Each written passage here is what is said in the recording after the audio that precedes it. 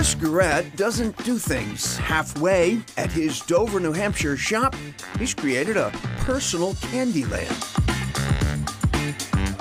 Do you have any idea how many different candies are in here? I would say about 10,000 different items if I had to guess. And the milkshakes here at Lickies and Chewies are as over the top as the rest of the shop. Most people finish the shake and maybe save some of the other stuff for later, or they just eat the stuff on top. Right? So that Garrett showed us how one of his king shakes gets assembled. So what are the parts here? Well, we've got Lot all of these fun gummies that are all ocean themed, and then we've got what we call seaweed, otherwise known as the sour belts, and some cakes to put on top. So there is so much stuff on there. Wouldn't it be easier to serve that with a knife and fork? Ice cream and milkshakes weren't supposed to be such a thing at Lickies and Chewies, but they quickly picked up fans. We did it as just a fun extra thing. That turned into the single biggest thing that we've ever done here. It's definitely what draws folks in. Made 35,000 shakes last year alone. You want a big lollipop? Yeah, this time I do.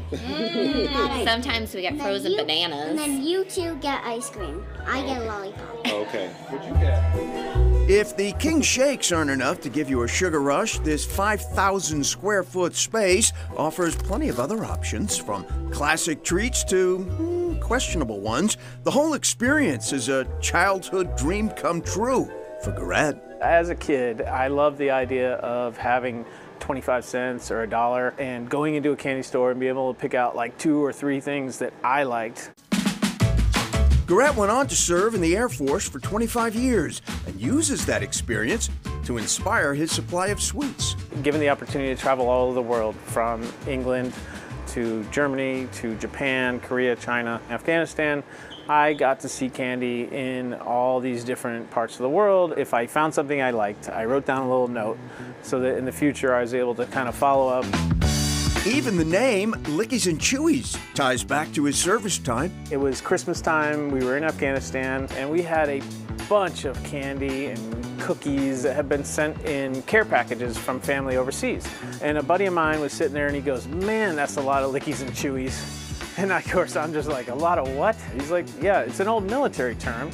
I was like, I'm opening a candy store with that name someday. As far as the candy's concerned, it's really just about how it makes people feel.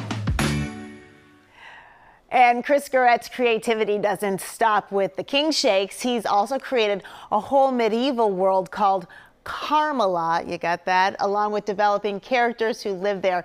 They include a knight named Licky and a dragon named Chewy. And that is Chronicle for tonight. Thank you so much for joining us. I'm Shayna Seymour. We hope to see you back here tomorrow night for another edition of Chronicle. Good night, everyone.